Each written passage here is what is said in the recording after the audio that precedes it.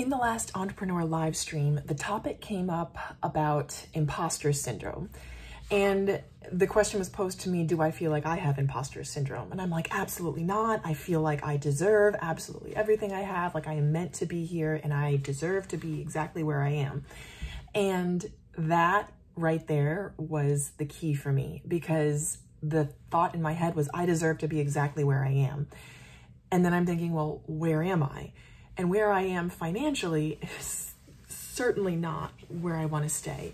So if you watch any of my budget recaps, and I'll link to some of them below, I'm kind of at a standstill, and I have been for the past like 10 years. I haven't changed income in a pretty long time. I mean, I've gotten raises here and there and I'm so grateful for them, but it's like, like mon minor, like very um, marginal, like two or 3% here or there. And is that where I want to stay? Absolutely not. So if now, if I'm answering the question about imposter syndrome, do I have imposter syndrome where I am? No. Do I have imposter syndrome when it comes to moving to the next level? Yeah, a little bit. And I know that's why I have been stuck where I am for the longest time. So after thinking about that, after this live stream that we did on Friday, and I'll link to that down below as well, I'm thinking, well, how do I get over this?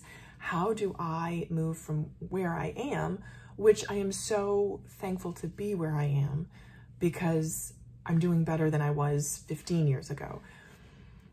That said, I don't want to still be here five years from now. And I've heard it said that if you're not growing, you're dying. And I certainly don't want to be dying. So that means that I have to keep growing.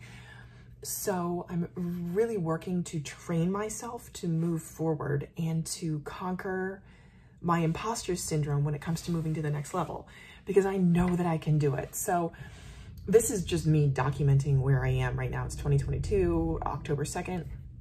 And I've been working to move to the next level for a while, but I know that mindset is a huge part of that. I just haven't been in the right place mindset wise to move to the next level. And that that's all it is. And I, because I firmly believe that where I am right now is a result of my own choices. Like I have nobody to blame. Where I am is where I choose to be consciously or unconsciously. It's where I choose to be. So if I choose to be here, I can certainly choose to be somewhere else, somewhere better, somewhere more abundant, where I'm able to give more and save more and enjoy more of life. And I know that that's what the creator has for me as a person of faith. I firmly believe in um, the God of the universe's good intentions for me personally. So here are the things that I am doing and implementing in order to move to that next level and conquer my imposter syndrome of moving to the next level. So number one is to know beyond a shadow of a doubt, right? To know that I am worthy of the next level. And that might sound pretty basic. It's like, oh, am I worthy? Yeah, sure. But there's so much on the inside that I come into contact with that kind of calls me out as saying, well, you may think that you think that you're worthy, but do you actually know deep down in your gut that you're worthy of this? And if so, how do I then release behaviors and thoughts and actions that sabotage me? So thinking about the behaviors and thoughts and actions sabotage me, I think my biggest issue is just lacking a clear direction and um, execution.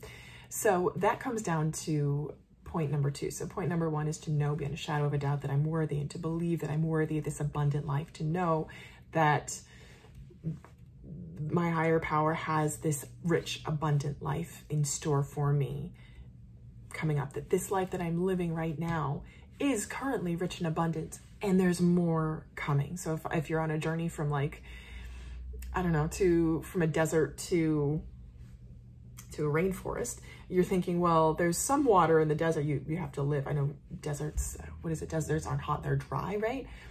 So there's just enough water to sustain you. But if you're going to a rainforest, then there's going to be, you know, ocean, oceans, but tons of water available to sustain you.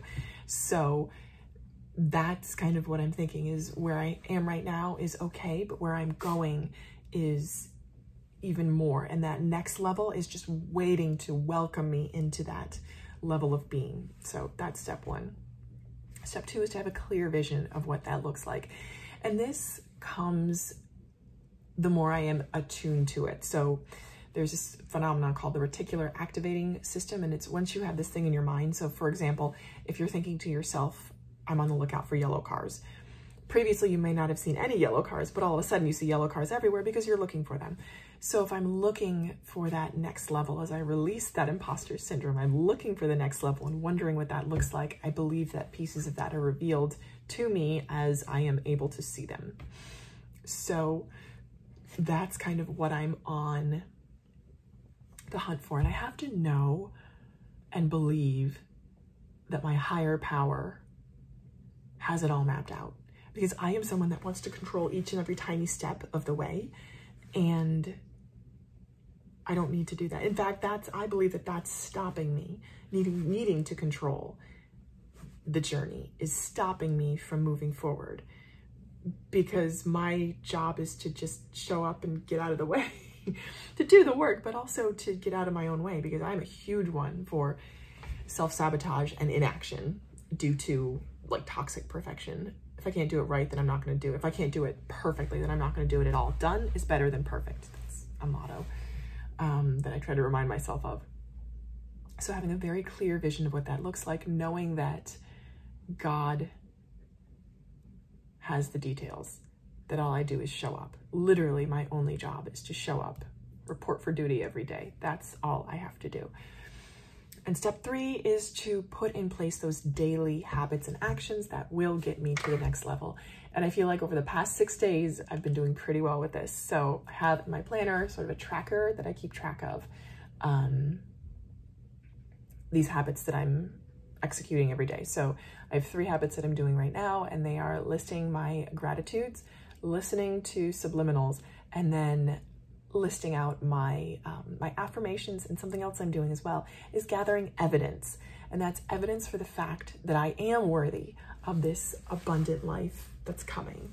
So that's things like, for example, if someone really wants to work with me despite XYZ obstacles, like somebody really wants to work with me, I'm like, oh, that's really cool.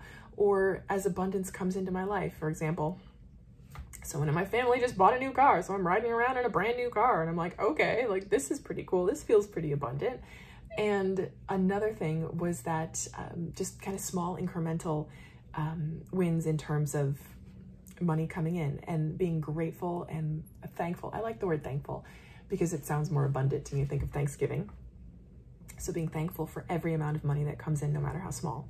That's something that I'm doing on a daily basis as evidence for the fact that abundance and wealth is my birthright and I am worthy of that. So that's my thoughts. Those are my thoughts on imposter syndrome on the next level and conquering that. So I want to say a shout out and thank you to Sab from the Entrepreneur live stream from Friday because she really helped me realize that. So um, I'm hoping that I'm hoping that's useful for someone else. Um, and I'm using this as a way to document, again, the journey that I'm on. And I hope that, um, I thank you for watching and I hope that you'll keep watching. Bye.